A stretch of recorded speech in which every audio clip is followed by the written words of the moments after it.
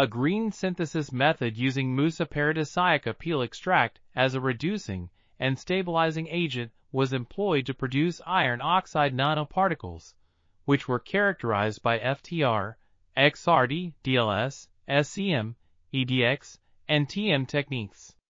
The synthesized nanoparticles exhibited magnetite, Fe3O4, and or maghemite, gamma Fe2O3, phases with an average particle diameter of 43.35 nanometers and a polydispersity index of 0.612.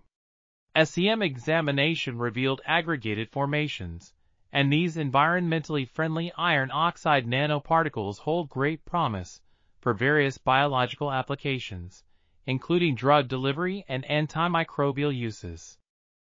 This article was authored by Esther Uwidia Ikhuoria, Ita Erebho Uwidia, Rachel Obhade Okojie, and others.